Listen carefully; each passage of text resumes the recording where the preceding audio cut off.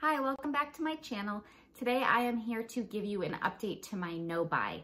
If you didn't see my original no buy video, I decided to do a no buy in seven different categories uh, for the months of January, February, and March 2022. So this is my update as far as the first two months of January and February. So um, the seven categories were face cleansers, which includes, you know, any type of face wash, face moisturizers, again, includes any type of, you know, any lotion, oil, etc. Eye cream, eye products. The fourth one was serums. Fifth was bar soaps. Number six was body moisturizers, again, of all forms, lotion, oil, etc. And the seventh was any type of shampoo or conditioner, hair wash products. So now I'm going to tell you how I've been doing two months in. I have been doing very well. This is probably gonna be quite a short video when you hear what I have purchased in the last two months. So I did purchase one beauty item in January. And actually, I haven't gone to the Credo store, which is in Boston. That's the closest one to me. I haven't been there for either never or for years. So it's been a super long time if I've ever even been in it. Um, oh, there's Tommy. They love to just be around when I'm filming. anyway, so I knew I was going to be right near it and I wanted to, I've been wanting to buy myself a foundation. Right now, as my foundation, I use the Babo Botanicals. It's like a type of sheer um, sunscreen or like a tinted sunscreen. And that's what I use for my foundation. I do not own any foundation. I did have a really like over five years old like BB cream at one point, but I tossed that I think at the end of 2021 because it was just not right anymore. So I wanted to get um, a professional there to help me pick out the right color. So I spent $51 on this product at Credo when I went in January. And this is the Ilia Super Serum Skin Tint Broad Spectrum SPF 40 Sunscreen. So knowing that I was getting pretty low on the Babo Botanicals tinted sunscreen, I wanted to buy this little product as my kind of upgrade once I finish that. So this is what it looks like. And as you may recall, this is not something that was on my no buy because I don't even own any foundations. So now I do. or I guess this is a super serum skin tint SPF 50. Hope that doesn't mean it falls into the serum category. I don't think so because this is going to be used um, basically as like my foundation SPF. So I haven't opened it yet. I'm waiting until I finish the Babo one in full and then I'm going to open this. So I'm really excited. They had they had me, they tested it on my skin and helped me pick the color. The color I got is ST9 Paloma. Skin tint number nine, I imagine that's what it stands for.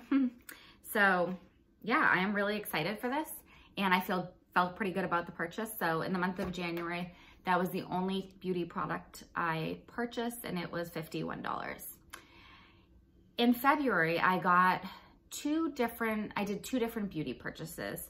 One was makeup spatulas. I got these from Amazon.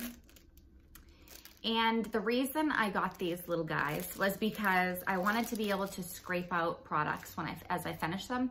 Because, you know, I've noticed with some of my glass bottles, once you're done with the product, there's still a lot left in there. You can, normally when I finish a product, I'll turn it upside down like in a old vessel that I have, like an old, um, some like old little jar or something. I have a whole bunch of them that I use.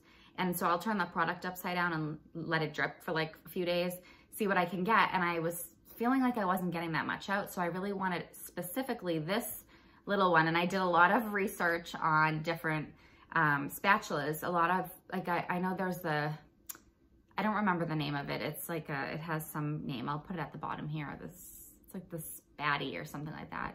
Um, but I was reading reviews and they weren't that great. So I went to Amazon. I read a lot of different reviews because there's a lot of knockoffs and different products. I really like these so far. So this came with four spatulas. I as you can see, I haven't even used some of them. Haven't really had like a huge um, need for these big ones.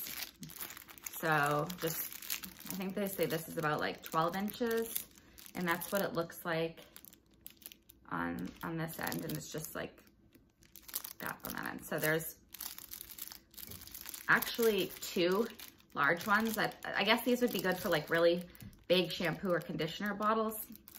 And then they have this one and just for a size comparison, that's the difference between the purple and the green.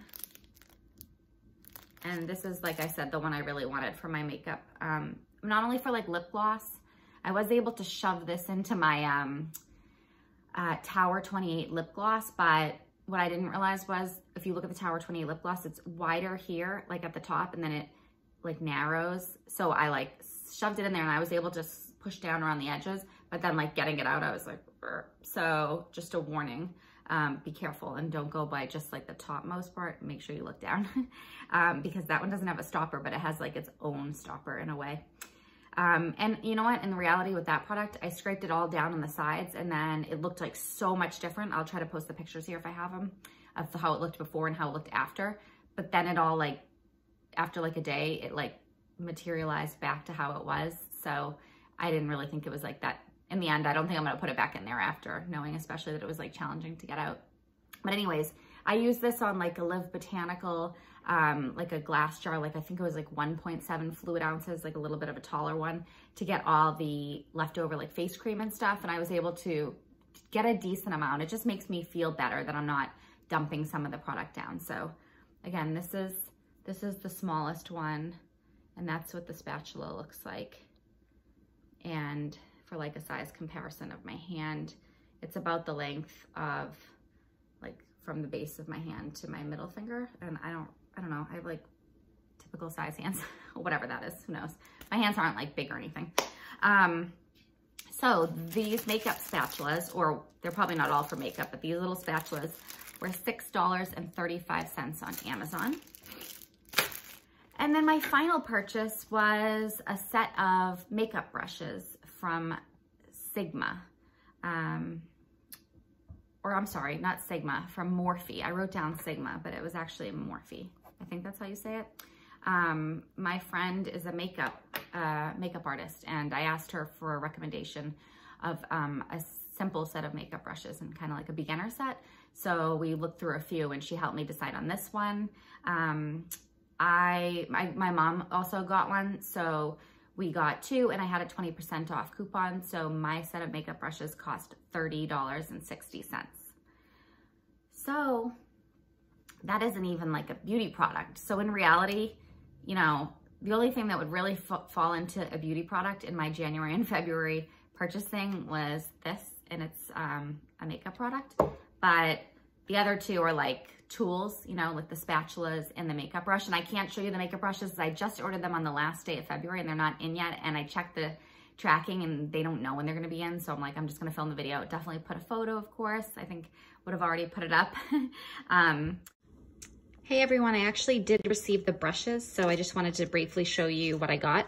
So this is the bag it came in, and these are the brushes, and basically comes with eight brushes, and there's a tapered powder brush, a flat buffer brush, a contour brush, mini buffer brush, pointed blender brush, oval fluff brush, angled brow and spoolie brush, detail liner brush and a faux leather zipper bag. These are the brushes. So I just wanted to show you them since I did get them. Actually, I got the package right after I filmed. So I thought I could just show you a little bit what they looked like. Like I said, with the 20% off coupon with shipping. Actually, we didn't have to pay for shipping because my mom and I both got one, but they came to like about $31 each or so. So that is the brush set that I got. You know, that leaves me with spending 51 in January and approximately $37 in February on anything beauty makeup related. So that is awesome. I definitely did not buy anything in my no buy categories. No face cleansers, no moisturizers, no eye creams, no serums, no bar soap, no body moisturizers, no shampoo and conditioner. So that's awesome. Um, I do receive Beauty Heroes monthly. So um, in January, I did get that Ayuna Terra Viva. Um, it could be used as a serum or a moisturizer. So that would fall into like the no buy. Um, and the, I got in February, I got Earthwise Beauty and that was um, a serum and their face balm. And then for March, I just got the Activist mask, serum, and edible, like honey to eat. So, but I didn't, I'm not counting my Beauty Hero subscription in my purchasing. My no buy is associated with what I'm actively buying versus what I'm receiving from Beauty Heroes. That's kind of like just the way I made it for myself. So yeah, that's where I'm at. I'm really happy. I It's definitely been challenging to, especially when those gift with purchases come out from Credo and Detox Market because they have come out. But I just look at them and I just am like, I don't need more stuff in my collection. I'm working on using and lessening my numbers and just not purchasing. So that is good. So that is my update. I hope you are happy to come along for the ride. And what I'm gonna do is continue my no buy through March and then check in either towards the end of March or maybe beginning of April about what I'm going to be doing about my no buy. Am I going to stop it, you know, at the end of March? Because I only did set it up for three months. Or am I going to extend it? And if I'm going to extend it, for how long? So I will definitely do a video in about like a month or so. Let me know if you're doing a no buy, if you've ever considered it, or if you're doing a low buy or something of, you know, that type. And any thoughts or comments you have, I would definitely love to hear them. Please give the video a thumbs up if you enjoyed it and click the subscribe button. And I look forward to talking to you soon. And I hope you have a great day. Bye.